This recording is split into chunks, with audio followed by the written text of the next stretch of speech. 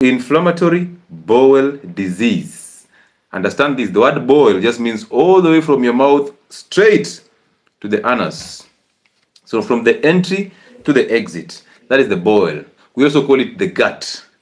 And then inflammatory, which means an inflamed gut. So inflammatory bowel disease is a disease which uh, occurs as an inflamed gut. Is that simple?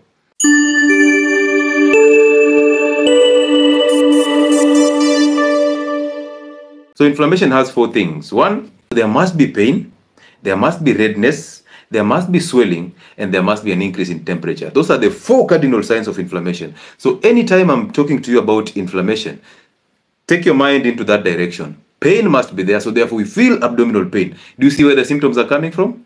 Abdominal pain, inflammation. Now, redness is there. That redness is when you do an endoscopy, you simply see that the wall of the intestine is totally inflamed and it looks like red and we will see some of them look like clumps, hmm? like clumps hanging into the rectum and the, and the large intestines. So the redness is there because there is increased blood flow towards that uh, inflamed site so that we initiate the healing process. So immune cells, red blood cells are going there. Therefore, blood supply has to increase. And I always make it easier for you this way. When you hit your toe on maybe uh, a, a table, what do you feel? And then how do you feel after a day or so, or after two hours? You will see the toe swelling. But first, you start by a lot of pain because the sensation of pain are there. So you will feel pain. After you felt pain, you will try to rub it. When you rub it, it starts to go red. And then it starts to swell. And then when you touch it, the temperature is a little higher than the, the other body temperature. Why? Because blood comes with uh, some heat. So blood is coming in with immune cells, blood is coming in with red blood cells, blood is coming in with nutrients so that this wound gets to heal. So inflammation is basically redness, pain, uh, swelling, and uh, and uh, increase in temperature. So that is exactly what we see when you do an endoscopy or a colonoscopy when you have this condition. So IBD. Now, if you see if you see the word IBD, it's a general term, but it has only two uh, conditions inside it. So this is the definition anyway. Chronic inflammatory condition affecting the gut. Simple. One, it has to be chronic. So it has to take a long period of time. Some of you will go ahead and treat IBD, and yet it's actually colon cancer. And this is the problem. Every time we experience bloating, every time we experience, experience indigestion, every time we experience constipation, we are quick to go to the pharmacy to buy lactulose to empty the bowel. We are quick to go uh, and buy PPIs and antacids because we are thinking we are bloated, so we have a lot of gas. We go and buy antacids or PPIs we keep on masking symptoms of diseases, and by the time we are being diagnosed of a disease, it's already too late. Okay, I said this to people from Meru, people from uh, Marsabit, Moyale, Mandera, Wajir, these people who consume a lot of miraa. They take this miraa that has a lot of chemicals, they get gastritis, they go to the pharmacy, they buy omeprazole, and they take it, and they feel better. It keeps on going that way all through, all through, and then Six months down the line, they're still doing the same thing. They are given PPIs, they're given uh, H. pylori kits, they get a little relief and they come back. And as they keep coming back, imagine somebody who has been on PPIs for like four years. They've always taken an antacid, they've always taken PPIs, but they still consume alcohol, they still chew miraa. So by the time you're coming for an adequate or appropriate uh, clinical diagnosis, you're at stage four of cancer. How can we even reverse that? How will you stay away from chemo? You can't. How will you stay away from radiation? It's difficult. But if you, you become so cautious about your body, I wonder why somebody will chew miraa the whole night, like literally, and then every single day. So chronic inflammatory condition affecting the gut, all the way from the mouth to the anus. Most of the times when you say IBD, people think this all, all always in the colon or the large intestines. That is not true. Listen to this. This IBD is actually classified into two. We have something called the Crohn's disease and we have something called the ulcerative colitis. Pause and let's review. So one, we have IBD, the inflammatory bowel disease. But this IBD has to be classified because these are the types anyway. So it has to affect from the mouth all the way to the to the rectum or the anus. But you will know that a part of this IBD affects only the large intestines. And the other part affects every place every single part of the gut from the mouth to the anus. That's where the difference is. So it's two conditions combined into one to form IBD. Now listen. One type is what we call ulcerative colitis. If you're sharp, you already know. Ulcerative, ulcer. And then colitis, colonitis. Ulcerative, an ulcer, a wound. Colitis, colon. And then itis, inflammation of the colon. Period. You are a doctor. You are a gastroenterologist right now. so if you have these two conditions of course you will have to differentiate them to know which is which and one that is confused for peptic ulcer disease is actually the one that is called the crohn's disease because the crohn's disease affects from the mouth all the way to the anus sometimes you will see you have an ulcer here a, a small white patch but it's very painful sometimes you're busy trying to clear your throat every morning every morning and it seems like you have a, a clogging mucus here. It's not going away. Sometimes you have very strong epigastric pains. And sometimes when you eat a meal, you start having a lot of pain in your gut. You're wondering what is happening. And these are the instructions that are coming from your gastro. You should eat all the time because you have ulcers. But what if we have this? Anyway, ulcers do not allow you to eat all the time. Please do not, because you will affect the system anyway. If you have ulcers, time for you to start fasting. And this You've seen ulcerative colitis. So part of IBD is an ulcer. But Crohn's disease, so we've said it's two, Crohn's disease and ulcerative colitis. For the ulcerative colitis, it is specific to the colon because it's colitis. So it causes inflammation of the colon. So for you to know this, of course, after the symptoms, maybe you're going to the toilet and you're, you're, you're actually diarrheaing and it comes out with blood or your stool comes out with blood and it's fresh blood because the colon is just near the rectum. So it's actually extending, extending to the rectum. So basically, any wound that is happening in the colon will come out, stool will come out with fresh blood. Okay? Unlike when you have a wound in the small intestines or in the stomach, the, uh, the stool comes out as dark because the blood has already clotted.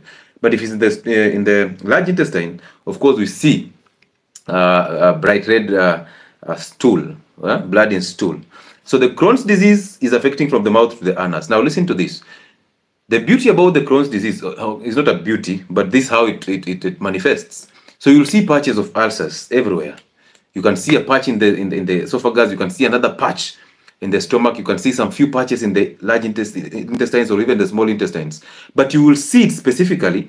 These patches, you have a patch and then a clear surface, a patch and then a healthy surface or tissue. So it's actually uh, alternating between the, the diseased part and the healthy part. So you'll see those differences, those patches. But for the ulcerative colitis, you will see a whole lining of the colon is inflamed. There is no patches. It's just a whole part of the colon that is inflamed. So whether it is the descending colon or whether it's the transverse colon, you will see it all looking red because of inflammation. I hope you've understood the difference between those two. That one has to run from the mouth to the anus with patches, but the other one affects the colon and it is a strip. You will see a whole colon side basically inflamed. Let me take you to the symptoms of, uh, of Crohn's disease. So this is what you guys should know. That if we have Crohn's disease, since it's running from the mouth all the way down, you will experience the same symptoms as somebody who has ulcers. The normal uh, peptic ulcer disease or duodenal ulcers. So some of the symptoms are these. Of course, diarrhea. But this diarrhea can come out bloody or sometimes not bloody. But I want you to know this that for the Crohn's disease, if it affects the small intestines or the large intestines, the patches will be seen in the in the in the final part of the small intestines and in the rectum. So it's very specific also. Just because it affects all parts of the system from the mouth to the anus, it doesn't mean that there are places that will affect like mostly. But mostly, if you want to know the difference, this one affects the last part of the small intestines and the last part of the large intestines. So for you to know the difference, because this one you will see, where the small intestine is joining the large intestine, there is a patch, there is an ulcer. And then in the rectum, there is an ulcer. But all through, the intestines are okay. But for the other one, the ulcerative colitis, you will see no small intestine is affected, but the large intestine, all of it is affected all the way. And you will see it's not a patch, it's a, basically a strip all through. For those of you who already have an image of the large intestine in the head, when I'm doing this, you already know I'm saying the transverse colon and then the descending colon. and then the rectum and the anus. So you already know that. Okay, pause and review. So these are the symptoms for Crohn's disease, the one that affects from mouth all the way to the to the anus. One, diarrhea. And that diarrhea sometimes comes with blood. Why? If it's affecting the rectum, you will see the blood. If it's affecting the first part of the uh, of this of the large intestines, which is the last part of the small intestines, you will see blood. And it has to be sometimes fresh blood, okay? But if it's affecting from the stomach upwards, you will not see the blood, you'll see dark stool. Symptom number two, abdominal pain. And this one is very specific. On the right upper abdomen or sometimes on the right lower abdomen because when it's on the upper abdomen, you need to suspect the liver problem. But if it's on the right and lower abdomen, you simply suspect Crohn's disease. That's symptom number two. And these symptoms will guide us to the diagnosis. Number three, we have weight loss. So people lose weight so fast. Why are they losing weight? Any idea? Why do you think people who have these ulcers are losing weight? As I move on, fatigue and fever. Again, why do you think they're having fatigue and fever? Good answer there. Brian is saying people are losing weight because of diarrhea. That is true. Diarrhea can actually dehydrate you. That is one. You can actually lose electrolytes, which is basically fatal. That's why diarrhea is fatal. So therefore, anytime you're diarrheaing, make sure you rehydrate with water and salt. Before you seek any help, rehydrate with salt and water. Mm -hmm. uh, Gatim is saying they are not benefiting from the food they eat. Perfect answer.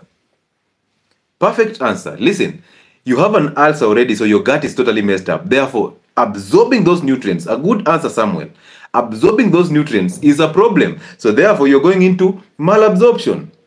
So you cannot absorb vitamins, you cannot absorb amino acids, you cannot absorb even your carbohydrates that you're addicted to. So you're wasting time when you're eating because most of those nutrients are just going out with stool. Number four, of course, we said fatigue and fever. And fatigue is coming as a result of you bleeding again.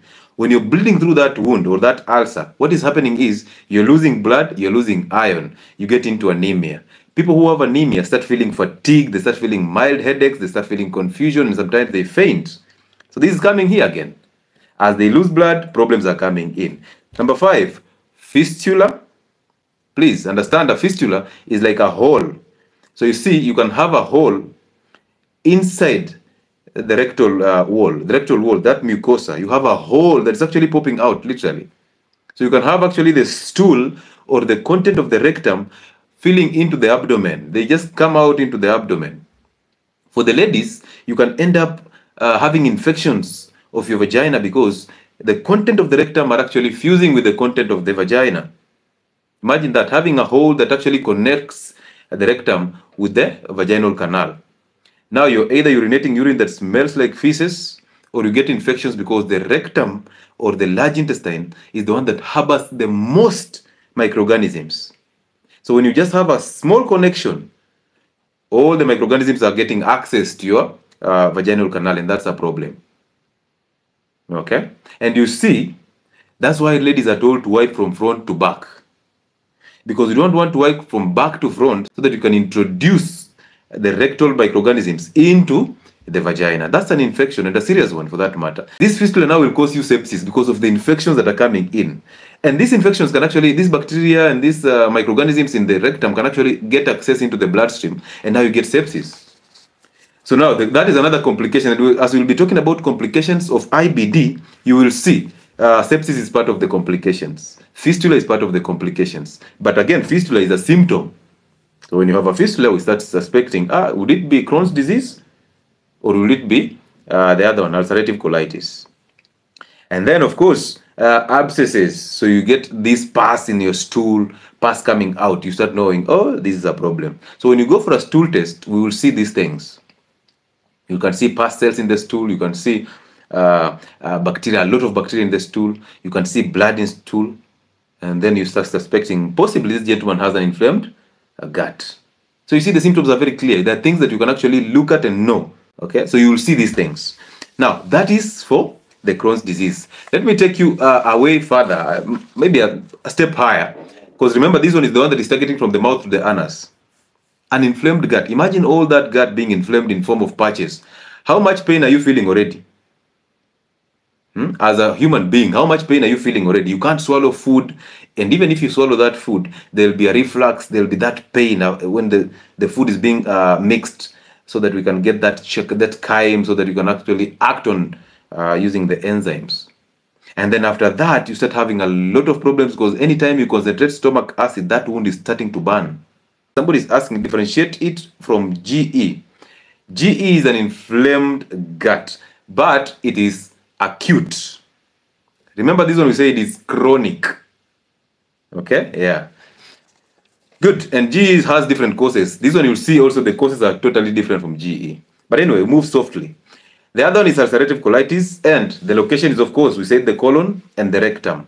And then we said this one, the inflammation is limited to the innermost lining of the colon. Now, this one can actually cause you more sepsis than the other one because the inflammation is in the innermost part of the colon, the innermost wall, wall inside the mucosal wall of the rectum. Symptoms again persistent diarrhea. The other one was not persistent. You just pass blood in stool and you can have a diarrhea. But this one is persistent diarrhea. And then the weird part is, after the diarrhea, you also have the urge to go back and poop. Imagine that. And I know this feeling comes in most times when you have a GE or something, or maybe amoeba or uh, dysentery. You diarrhea yourself to no energy at all. And then immediately you're leaving the toilet, you reach the toilet door, you want to go back. There's an urge. You go and sit on that toilet, nothing is coming out. That is the same feeling that you have when you have this one. The ulcerative colitis. Number two, abdominal pain, left lower abdomen. Now this one is on the other side. Remember, uh, the Crohn's disease was on the lower right abdomen or the upper right abdomen. But we said if it's on the upper right, suspect either kidney disease or the liver disease. But when it's on the lower right, then understand that is Crohn's disease. Simply start questioning on that direction. Doctors in the building, start questioning towards that direction. This other one, ulcerative colitis, you see the lower left abdomen. You know hii kuna shida. Kuna shida kubwa. And then of course, rectal bleeding. And blood is very fresh in stool. Why? Because it's in the rectum. Another one, urgency to defecate. We've talked about that. Then weight loss and fatigue, the same same symptoms as the other one. Very slight changes.